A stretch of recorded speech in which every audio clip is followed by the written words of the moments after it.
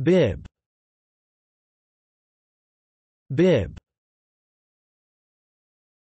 Bib. Noun Definition, a piece of cloth or plastic fastened around a person's neck to keep their clothes clean while eating. Thanks for watching this video. Be sure to subscribe to our channel to get more free learning resources.